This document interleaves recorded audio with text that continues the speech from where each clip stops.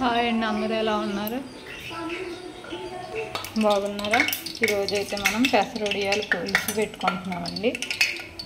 చాలా త్వరగా అయిపోతుంది క్యారేజీల్లో కదైతే. మనకు పొద్దుడే త్వరగా అయిపోయాక వంట అండి. మీకు కూడా సరదాగా చూపిద్దామని వీడియో తీస్తుంది ముందుగా నూనె వేసుకుని వేడెక్కాక అందులో పెసరొడియాలు వేయించి తీసేసుకోవాలి. ఎక్కువసేపు వేయించుకోవడానికి త్వరగానే వేగిపోతాయి మాడిపోతాయి. త్వరగా తీసేసుకోవాలి ఆ వడియాలు తీసుకున్న నూనెలోనే మనం ఉల్లిపాయలు వేసేసుకుని పచ్చిమిరపకాయలు కూడా వేసుకుని వేయించుకోవాలండి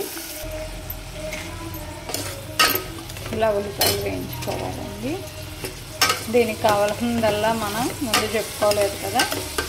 మనం పెసరొడియాలు మనకి సరిపడినన్ని కూర సరిపడినన్ని ఉల్లిపాయలు ఒక రెండు పచ్చిమిరపకాయలు ఒక ఐదు టమాటాలు ఒక మూడు. పెద్దవైతే రెండు సరిపోతాయండి చిన్నవైతే ఒక నాలుగు. మధ్యలో అయితే మూడు.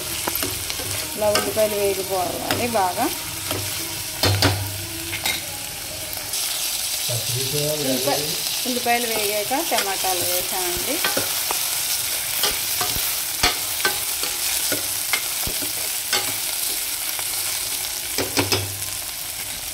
టమాటాల్లో ఉప్పు ఉప్పు పసుపు వేసేసుకుందాం మగ్గుతాయి బాగా. ఉప్పు వేసుకున్నాక బాగా కలుపుకుందాం. టమాటా త్వరగా మగ్గిపోతుంది.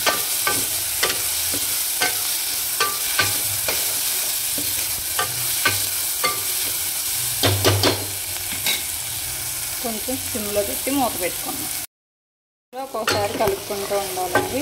టమాటాలు బాగా మగ్గాయి. చూసారు కదా? మగ్గినాయి కదా?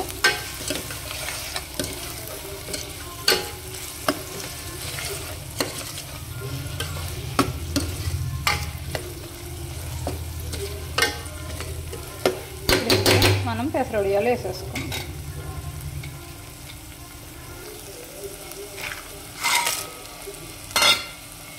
ఇందాక ఉప్పు పసుపు వేసుకున్నాం కదండి ఇప్పుడు కారం వేసుకుందాం. కారం వేసుకున్నాం కదా? బాగా కలుపుకుందాం. కలుపుకొని మనకి పులుపు ఎంత కావాలో అంత సరిపడా మనం చింతపండు నానబెట్టుకోవాలండి. చింతపండు కూడా మీకు మీ కూర మీ క్వాంటిటీని బట్టి ఉంటుంది. మీరు ఎంత వండుకుంటే దానికి సరిపడా పులుసు రావడానికి సరిపడా వేసుకోవాలి. పెసరొడియాలు మ్, పీల్చుకుంటాయండి ఒడియాలు వాటర్ అంతా కాబట్టి కొద్దిగా వాటర్ ఉండేలాగే మనం చింతపండు పులుసు వేయాలండి. వేసేటప్పుడు మనం కొత్తిమీర కూడా వేసుకుంటే బాగుంటుందండి రుచి. వాసన కూడా బాగుంటుంది.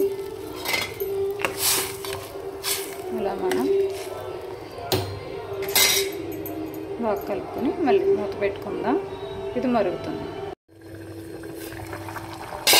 పులుసు అయితే మరిగిపోయిందండి చిక్కబడిపోయింది కదా.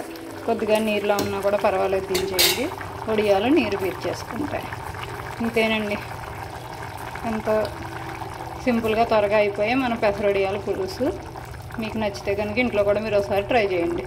నచ్చితే కనుక లైక్ షేర్ సబ్స్క్రైబ్. ఉప్పు కూడా ఇప్పుడే చూసుకుని వేసేసుకోండి.